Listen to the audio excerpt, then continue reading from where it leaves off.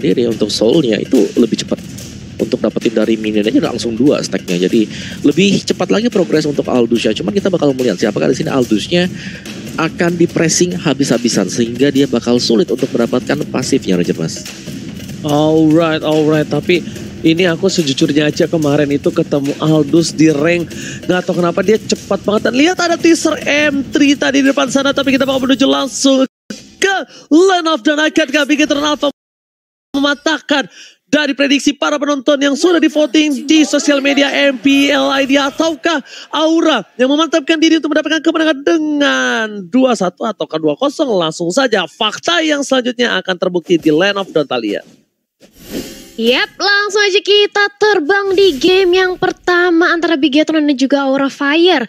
Sesuai kata Ranger Mas, faktanya bakal kita nanti-nantikan dan lihat bagaimana dari Matt, Aldos dari dulu. Sama seperti Alice, Aldos benar-benar butuh stuck dari lane-nya masing-masing. Tapi apa yang terjadi di sisi lain? Ternyata terjadi first blood. Rainbow-nya berhasil diculik oleh Facehugger. Emang Lilia ini burst damage magicnya sakit banget Ranger Mas.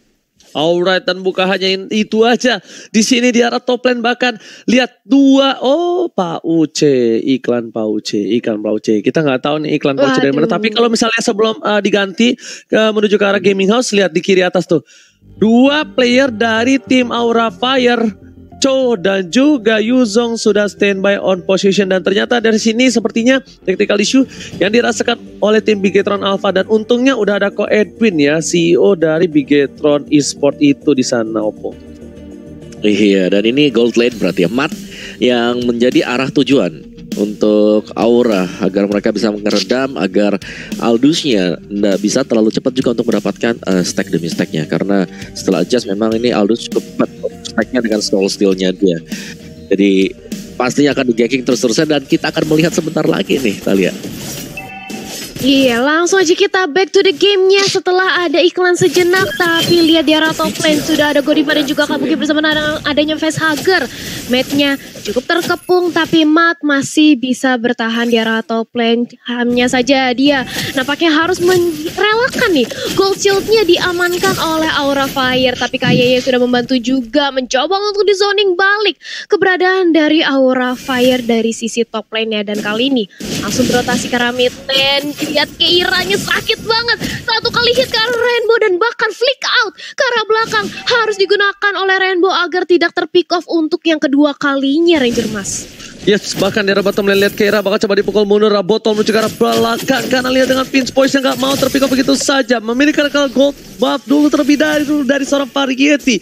Dan di sisi lain, Ripo sepertinya bakal coba untuk melakukan clear minion saja. Ripo kali ini dipercayakan untuk melawan seorang Keira dan betul sekali lihat Keira bahkan tertinggal dengan satu level dan juga satu gerobak. Setengah level yang sudah ditinggalin oleh seorang Ripo dan bahkan Pes Ager kali ini membuat Rainbow sedikit terkejut dan terheran-heran. Variety dengan cost shadow-nya hanya sedikit menggetarkan saja sedangkan Godiva di depan sana seperti biasa Manga Krakos dikeluarkan oleh seorang Keira dan Godiva kembali ke arah rumput. Nah bakal coba dimakan. Dan tim juga poker trick dan set punya gak bisa pergi dari Linda dari seorang Ripo di sisi lain bahkan botol yang dapetin poin tambahan dan variety fokus objektif menuju ke arah sebuah tata bisa diamankan dengan cukup baik dan punya telan lagi Talia Gak punya telennya lagi Detona Welcome tapi sudah berhasil diamankan dari turtle-nya oleh Variety Objektif Gaming. Dari Aura Fire untuk yang pertama kali berhasil untuk diamankan ini membuat pertandingan kita sejauh menit kedua memasuki menit ketiga sebentar lagi.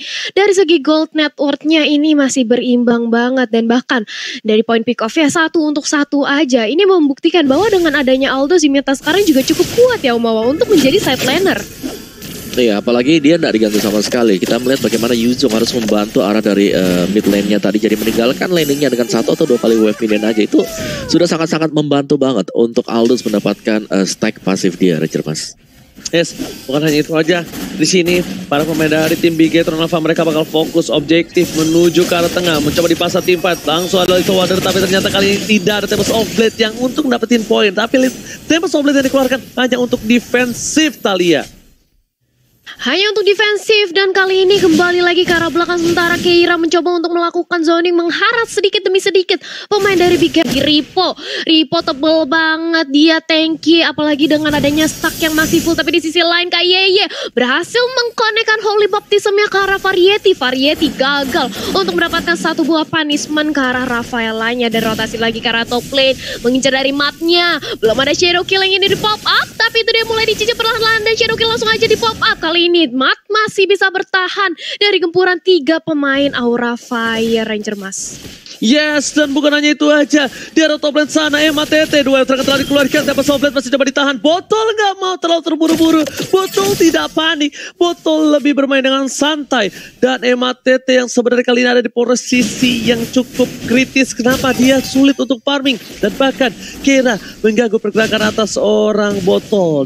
Dengan jab dikeluarkan begitu saja dan terjatuh ultimate berhasil di dari Kira. Mencoba di cover oleh seorang Godiva menuju ke arah bottom lane. Kan ada apa? Ada tar lane kan ada apa? Ada turtle yang bertengkir di depan sana Talia Iya, turtle-nya sudah fire kali ini. Apakah bisa di take over? Sementara itu dua dragon yang berhasil connect ke arah Rainbow. Mencoba untuk langsung dilakukan punishment, tapi ternyata turtle-nya berhasil untuk di take over. Battle justru yang berhasil mengamankan turtle yang kedua. Dan kali ini mau nggak mau variety. Harus mundur lagi. Mengamankan purple buff-nya terlebih dahulu. Nggak mau terlalu terburu-buru dan sudah ada deadly magic ke arah Keira. Tapi tidak ada damage dari poker tricknya. Membuat Keira masih bisa bertahan di lini belakang Ranger Mas. Yes, yes, yes. Dan bahkan take over yang luar biasa bagus. Meanwhile kita melihat Big Gatron Alpha mengungguli dari segi goldnya. 1000 gold diungguli dengan 1100 gold. Dan bahkan di arah top lane sana bakal pertukaran pemain antara seorang Kabuki dan juga seorang MATT. Botol nggak punya apa-apa, take off step menuju ke arah belakang. Gak ada tap softlet lagi menuju ke arah seorang botol. Cherokee nggak mau dipaksa. Ke arah Kayeye. Dan bahkan Coach Cherokee ke arah belakang. Masih menyelamatkan seorang Claudia. Tidak Detonator to welcome to my channel Talia. Ya tuh welcome to my channel. Tapi lihat dari Keiranya juga. Mencoba untuk langsung memberikan pressure dan Shadow Killer. Berhasil untuk memulangkan seorang battle ke arah base-nya kembali. Dan lihat Variety kali ini langsung mengamankan. Dari segi purple buff-nya dan Link. Sebentar lagi battle yang akan respon 10 detik lagi. Tidak mempunyai purple buff yang cukup berarti bagi Link dan tapi kali ini dari matnya. Mencoba untuk diharas tapi masih terlalu tebal masih terlalu sakit untuk Variety dan otomatis Aura Fire. Mereka lebih fokus untuk mengamankan dari segi jungle dan objektifnya terlebih dahulu Ranger Mas. Yes, di sisi lain Baras juga bakal coba untuk pertukaran satu untuk satu turret di arah atas dan juga di arah bottom lane tapi Keira memukul mundur Kaye dan juga seorang Matt dan bahkan di sini para pemain dari tim Bigeton Alpha akhirnya membuat satu buah barter yang cukup adil. Satu ditukar satu Turret di arah top untuk di arah bottom lane dan dari tim Magic dan juga Pocket Trick seorang Rainbow belum masuk dengan maksimal. Bahkan ada Kira depan sana membuat Rainbow memukul mundur dengan spesial escape-nya dan bahkan Kira jangan sampai tertangkap. Nokos sering dikeluarkan dan bahkan memilih Jeb untuk mundur ke belakang melihat potensi tim fight yang tidak cukup baik untuk tim Aura menarik mundur pasukannya dan memilih untuk objektif gaming Talia. Memilih untuk objektif gaming karena kali ini dari Turtle-nya juga mulai dikontes dari kedua belah tim. Lihat bagaimana dari Aura Fire juga Bigaton Alpha mereka benar-benar ingin fokus untuk mengamankan Turtle-nya. Bahkan Black Dragon Form sudah langsung di up Temples of Black berhasil untuk mendapatkan Turtle-nya dan Godiva cukup sekarang terkena Deadly Magic. Hilang sudah Rainbow, hilang sudah sebentar lagi Godivanya dan ini dia dua pemain dari Aura Fire sudah berhasil dihilangkan oleh Bigaton Alpha. Sementara itu Bottle menjadi incaran tapi walaupun demikian lihat bagaimana damage dari seorang kabukinya sakit banget. Padahal cukup sekarang dan kena Dragon Tail berhasil memulangkan linknya. Sementara Vesager malah justru masih bisa selamat di arah belakang di backup oleh Pakito dan juga Kabuki kali ini Ranger Max. Yes, diselamatkan oleh seorang Pak Wito kali ini Keira membuat Vesager ke akhirnya terkena mental dan memilih untuk mundur. Karena kalau tadi MATT memaksakan tinju dibalas tinju. Ini untuk saat ini belum cukup adil untuk MATT masih dimenangkan oleh seorang Keira. Tapi kalau MATT mengajak tinju dibalas tinju di late game nanti ini mungkin beda cerita Opung Wawa. Betul sih, karena tadi gak ada yang sama sekali yang melihat ke Mat ya pertama kali. Dia dibiarin saja untuk memberikan free hit. Karena dari Aura Fire pastinya mereka sudah punya kalkulasi bahwa damage yang diberikan oleh Mat ini belum cukup untuk di early-nya. Tapi nanti untuk di late game pastinya sudah akan ada yang mengunci Mat sendiri Ranger Mas. Yes, bakal fight dari bottom lane tapi ternyata tidak langsung aja hantaman benda tumpul menuju ke arah belakang Kabuki memotong mendina rotasi dari seorang Bigetron Alpha dengan naganya. Kaye bahkan gak bisa menjemput Rainbow dan bahkan Ripo pun tidak bisa mengcover. Ini bukan hal yang bagus. Bahkan di arah bottom lane Masakan bakal dibuat dipulangin begitu saja. Kira masih coba menahan pergerakan di seorang Matt dan lihat Mattnya tinju dibalas tinju kali ini. Kira udah lumayan nyesek ketika ditabok dadanya oleh seorang Emma Talia. Iya dan lihat bagaimana di area bottom lane masih berlanjut tapi ternyata enggak karena Kayeye-nya sudah langsung siap untuk membantu. Sementara itu lihat bagaimana Kodiva di area mid lane mencoba untuk menunggu momentum siapa yang ingin di lock dengan adanya The Wild Dragon dan itu dia Kayeye menjadi incaran utama dan langsung aja dipegang dengan ada Keira. Cukup sekarang flick out ke arah belakang dan langsung ngehil buru-buru kabur dari serangan para Aura Fire. Masih bisa selamat tapi Linknya, Linknya berusaha untuk melakukan speed push juga di arah top lane Ranger Mas. Oke, tapi kalau kali ini kita bakal lihat di mana permainan dari tim Aura Fire. Sepertinya mereka mencoba untuk melakukan satu buah back door yang di mana backstep akan dilakukan terhadap seorang botol. Lihat retribution, botol terkaget, terkejut, terheran-heran dan link tanpa blue bagaikan aku tanpa kamu. Terkali itu Ripo mencoba ditendang, menuju ke belakang, begitu telah digunakan bahkan ada seorang MATT menuju ke seorang Variety yang ternyata dikawal oleh sang naga bonar. Hantaman benda tumpul ternyata kali ini membuat MATT mengurungkan niatnya untuk mendapatkan satu poin tambahan menjadi pilihan. Mereka telah digunakan dan bahkan Shadow Kill tak tercover. Meta berdaya, Met pun harus tumpang di arah sungai Talia. Yap, dan sudah datang juga dari battle-nya. Hampir saja ia ingin melakukan komit, tapi lihat bagaimana kali ini dari Variety juga ingin mau lebih. Mencoba untuk mengincar dari sisi belakangnya, dan Rembonya berhasil untuk ditumbangkan ke Yeye. Kali ini menjadi target utamanya, tapi dari Keirang kamu terlalu terburu-buru karena masih ada Rivo di sana. Hati-hati, anda akan ada satu buah detona welcome yang bisa langsung dilahap dan langsung dilempar ke arah turretnya. Jadi lebih berhati-hati lagi. Dan tarik ulur dari Aura Fire mengingat sudah ada Lord juga di menit yang ke-11 keluarkan belum enhance tapi bisa banget untuk dijadikan perebutan dan lihat bagaimana Kabuki terkena dari Holy Baptism-nya. Masih mencoba untuk di buying time aja dan Ripo terlalu sasen di lini terdepan dan bakal variasi yang cukup sekarang. Shadow lakukan kayaknya sudah hilang. Kali ini dari Bigaron Nafang hilang satu membernya begitu pula dengan ada variasi yang berhasil dihilangkan. Tapi Lost of Blade sudah langsung dilakukan oleh Battle. Aldosnya menggila mencoba untuk mendapatkan satu lagi poin pick off karena Aura Fire dan Lordnya di reset dua untuk dua Ranger Mas. Tinju dibalas tinju kali ini kita lihat di mana Matt udah memasuki menit yang ke-11 bahkan Keira pun seorang diri nggak berani mendekat seorang Matt karena itu tinjunya Saitama pun lewat sekali tinju langsung mendem ke inti bumi Opung Wawa. Iya dan Enodi langsung di buy out juga oleh Aura Fire. Dan kalau kita lihat dari segi itemnya sendiri ya Battle, War X, Demon Hunter dan juga Endless. Sebagaimana itu seharusnya sudah sangat-sangat mencukupi sekali untuk linknya melompat ke bagian belakang. Tapi targetnya ini dia yang harus benar-benar pas.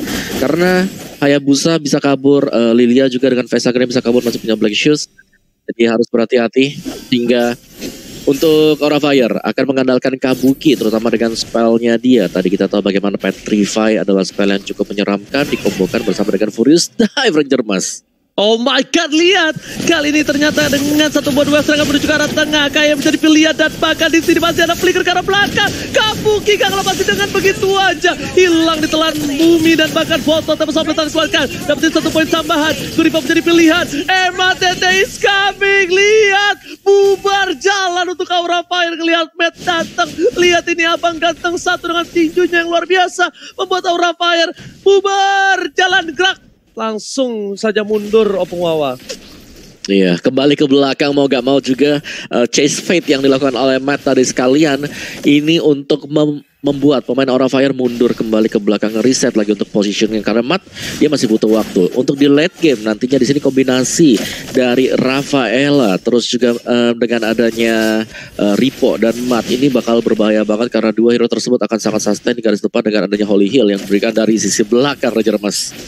Aurat dan bahkan lihat Variety mencoba untuk kabur dari seorang yang agak sedikit sulit dan sebuah Godiva melakukan lindung terhadap Variety. Langsung hilang dan tiba dan juga Pokok Trik udah masuk tapi Variety masih coba untuk bertahan. Variety dapat sampai dikeluarkan di Gojek begitu saja dan tidak ada shadow kill. Variety terinjak oleh seorang Ripo. Para pemain dari tim Aura Fire agak sedikit pora-poranda lihat seorang botol di atas. Coba untuk menunggu momentum dia nggak bisa turun begitu aja karena dia udah nggak punya tebas upgrade lagi dan memilih untuk objektif menuju ke arah bottom lane. Kira sadar akan hal itu. Kira langsung mundur. Dan di tengah sana, Bigetron Alpha menetralisir kembali permainan yang dia miliki. Aura Fire kali ini agak di posisi yang tidak cukup baik Opung Wawa. Iya, mereka harus bisa memancing dulu sih Bigetron Alpha untuk mengeluarkan skill demi skillnya. Yang kita tahu Battle akan masuk ketika teman-temannya melakukan team fight. Dan kalau kita intip sekali lagi Battle juga sudah mulai menyelesaikan item damage yang berikutnya. Dia sudah memiliki endless battle. Jadi true damage sudah dimiliki oleh linknya. Split push juga bisa dilakukan Bigetron Alpha. Mereka punya dua jalur sekarang lewat jalur depan. Mereka punya barat untuk menabrak head to head dengan Aura Fire. Ataupun mereka bisa lewat samping karena untuk bagian kiri dan kanannya. Mereka masih punya link dan juga Aldous dengan global Prestige ya untuk melakukan split push. Dan Aura Fire dengan hanya mengandalkan Hayabusa ini harus berhati-hati banget dan juga Pakito yang bisa ditelan dengan adanya Detonas Welcome. Kita lihat. Iya, bahkan kita melihat sebentar lagi kita sudah memasuki ke mid gamenya. Makin ngedrek ke late game ini Ripo ban juga mati bakal tebel banget dan lihat perangnya udah pecah lagi Riponya mencari lini terdepan mencoba untuk menahan damage dari gempuran Aura Fire. Balik semua dari Aura Fire. Gak mau ingin melakukan kontes lebih lanjut karena purple buffnya juga masih bisa untuk diamankan oleh seorang battle. Lordnya belum ada yang ingin menyentuh Ripo hanya mencari sedikit stucknya aja tapi lihat dari Keiranya sudah melakukan invasi ke arah seorang Kayeye dan langsung aja diserang dengan adanya Battle dan juga Ripo tapi Keira masih terlalu sustain tapi di sisi lain Ramonia berhasil diculik. Keiranya masih mencoba untuk melakukan cutting ke arah Ripo-nya tapi ternyata masih bisa untuk ditahankan aja tapi sebelum langsung dikeluarkan. Nih Variety yang sudah hilang Godivanya sekarang satu hit langsung aja diincar oleh seorang Battle. Tumbang lagi satu pemain dari Aura Fire. Sekarang tiga untuk tiga. Akankah Lord mencoba untuk langsung dikomit aja dari kedua belah tim Ranger Mas Bar tinju di dia lihat kira sedikit kaget dan hilang immortality-nya. Bahkan Kabuki mencoba menyelamatkan dengan sebuah hantaman benda tumpul. Matt gak bisa berdaya, gak bisa bergerak begitu aja. Tapi naganya sepertinya kali ini gak bisa berbuat banyak dan bahkan coba ditumbangin menjadi korban selanjutnya. Satu hilang dan bahkan botol still survive in the top lane. Oh my god, ini menjadi sebuah hal yang luar biasa untuk Bigetron yang tandanya ini sudah ada warning untuk Variety. Variety tidak ada yang bisa kalian pick off dan tidak ada yang bisa kamu pick off dengan instan kecuali Kaye dan juga Rainbow. Cuma ada dua pilihan makanan untuk Aura Fire dan tentunya Aura Fire kali ini agak sedikit kesulitan. Lihat Keira, Godiva di arah belakang. Langsung ada ultimate telah dikeluarkan. Tapi ternyata di sini Ripo menahan semuanya. Ripo memilih untuk menunggu terlebih dahulu. Mencoba take over. Godiva stay on by on position. Gak ada naga. Dan bakal lihat Retribution diamankan oleh siapa? Dan this is it.